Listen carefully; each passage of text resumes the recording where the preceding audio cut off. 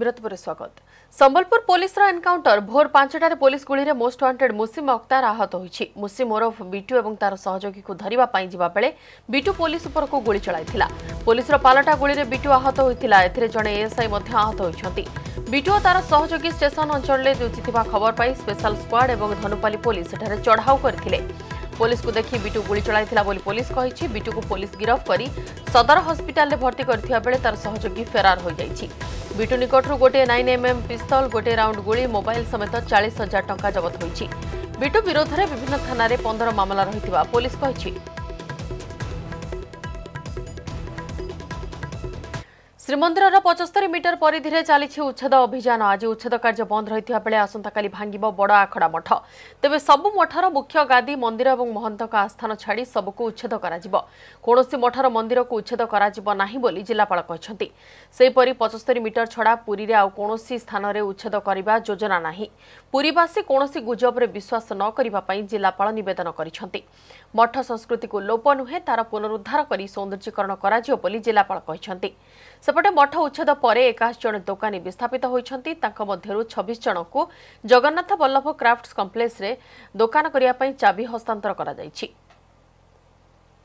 कोई भी लेन रो और भी कोई जगह रे कोई भी ओसार कर एक्सपेनसन कर एविक्शन कर रिमुवल कर प्लां ना प्रशासन रण पूरा आश्वस्त रहिबे। सो कोई भी रूमर को स्पेस देवार नहीं कोई भी र्यूमर पर कोई जगह नहीं। और तो रिहाबिलिटेसन पूरा चिंता करा कराऊ को भी मिसगैड हेबार नहीं कोई मिसकनसेपसन रही कि आ, अ, अ, मठ को भांगा जाउची it is completely wrong information आमे जो भी भांगिछु अनसेफ स्ट्रक्चर को भांगिछु आमे कमर्शियल स्ट्रक्चर को भांगिछु मठ को और समृद्ध करिबो और प्रिजर्व करिबो और रिडेवलप करिबो ପୁରୀ ଜିଲ୍ଲା ପ୍ରଶାସନ ପକ୍ଷରୁ କେବଳ ବିପଦସଙ୍କୁଳ ମଠ ନୁହେଁ ତା ଭିତରେ ଥିବା କମର୍ସିଆଲ କୋଠାକୁ ବି ଉଚ୍ଛେଦ କରାଯାଉଛି। ତେବେ ଏମାର ମଠ ମହନ୍ତଙ୍କୁ ନେଇ ସ୍ୱତନ୍ତ୍ର ପଦକ୍ଷେପ ନିଆଯାଇଛି।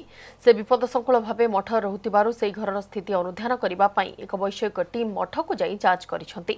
କାରଣ ମଠର ଯେଉଁ ବିପଦସଙ୍କୁଳ ଘର ରହିଛି ତାକୁ ଭାଙ୍ଗିଲେ ମହନ୍ତ ରାଜଗୋପାଳ ରାମାନୁଜ ରହୁଥିବା ଘର ମଧ୍ୟ ଭାଙ୍ଗିଯିବ। ତେଣୁ କିଭଳି ତାହା ଉଚ୍ଛେଦ କରାଯିବ ସେ ନେଇ ମହନ୍ତଙ୍କ ସହ ଆଲୋଚନା ସହ ବୈଷୟିକ କମିଟିର ରିପୋର୍ଟ ଆସିଲା ପରେ ପଦକ୍ଷେପ ନିଆଯିବ ବୋଲି ଜିଲ୍ଲାପାଳ କହିଛନ୍ତି।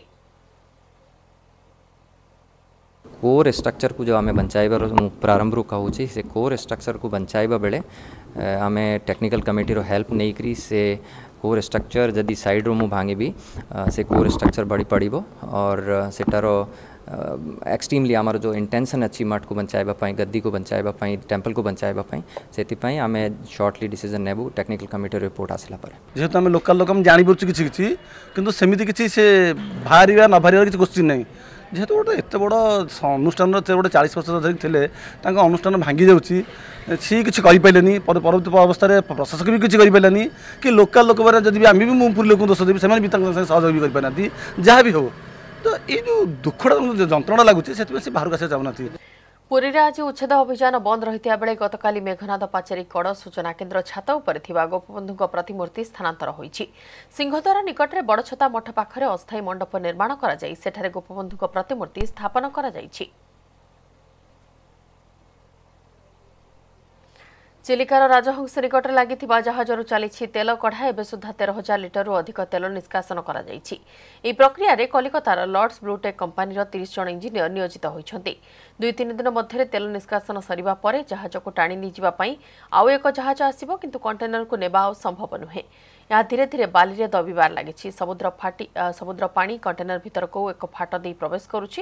ତାକୁ ସ୍କ୍ରାପ୍ ଅର୍ଥାତ୍ ଖଣ୍ଡ ଖଣ୍ଡ କରି ନେଇଯିବ ବୋଲି କମ୍ପାନୀର ଇଞ୍ଜିନିୟରମାନେ କହିଛନ୍ତି। ମାଲେସିଆର ଏହି cargo ship Xinhua Visakhapatnam port ଆଡ଼କୁ ଯାଉଥିବା ବେଳେ ମେଲା- ମେକାନିକାଲ ସମସ୍ୟା ଯୋଗୁଁ ଭାସି ଆସି ପୁରୀ କୃଷ୍ଣପ୍ରସାଦ ଥାନା ଅନ୍ତର୍ଗତ ରାଜହଂସ ଦ୍ୱୀପ ନିକଟରେ ଲାଗିଥିଲା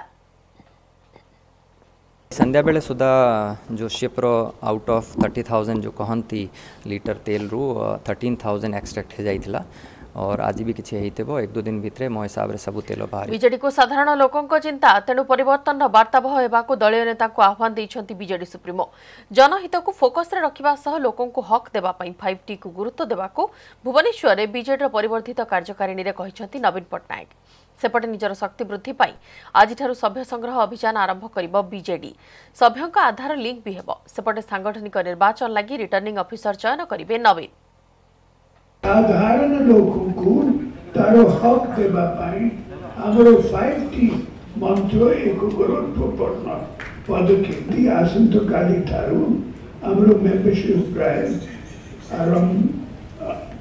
आरंभ हो जी। ए अक्टूबर 31 पर जंत आप माने समझते participate করো তুমি আসবা পরবর্তী খবরকু। চন্দ্রর আহরি নিকটতর হয়েছে চন্দ্রযান টু চন্দ্রর শেষ তথা পঞ্চম কক্ষপথরে প্রবেশ করেছে ইসরোর এই বহুচর্চিত মহাকাশযান আজ ল্যাণ্ডর বিক্রম চন্দ্রযান টুর অর্বিটর ঠার অলগা হব এই অপরেশন আজ দিন বারোটা পঁয়চাশ রু গোটায় পঁয়চাশ মধ্যে হব সেপরি সেপ্টেম্বর তিন তারিখে প্রথম ডি অর্বিট এবং চারি তারিখে দ্বিতীয় ডি অর্বিট পুরা হব ଏହାର ଅର୍ଥ ଚାରି ସେପ୍ଟେମ୍ବର ବେଳକୁ ବିକ୍ରମ ଲ୍ୟାଣ୍ଡର ଚନ୍ଦ୍ରର ସବୁଠାରୁ ପାଖରେ ପହଞ୍ଚି ସାରିଥିବ। ତେବେ ସାତ ତାରିଖରେ ହେବ ସବୁଠାରୁ ଚ୍ୟାଲେଞ୍ଜପୂର୍ଣ୍ଣ ଅଭିଯାନ। ଆସନ୍ତା ସାତ ତାରିଖରେ ଲ୍ୟାଣ୍ଡର ବିକ୍ରମ ପଇଁତିରିଶ କିଲୋମିଟର ଉଚ୍ଚତାରୁ ଚନ୍ଦ୍ରର ଦକ୍ଷିଣ ମେରୁରେ ଅବତରଣ କରିବା ଆରମ୍ଭ କରିବ। ଲ୍ୟାଣ୍ଡରର ସେକେଣ୍ଡ ପିଛା ଦୁଇ ମିଟର ଗତିରେ ଚନ୍ଦ୍ରପୃଷ୍ଠର ଦକ୍ଷିଣ ମେରୁରେ ଥିବା ଦୁଇ କ୍ରେଟର ମେଞ୍ଜିନା ସି ଏବଂ ସିମ୍ପୋଲିୟସ୍ ଏନ୍ ମଧ୍ୟରେ ଥିବା ଚଟାଣରେ ଅବତରଣ କରିବ। ଅବତରଣର ଏହି ପନ୍ଦର ମିନିଟ୍ ସମୟ ବେଶ୍ ଗୁରୁତ୍ୱପୂର୍ଣ୍ଣ।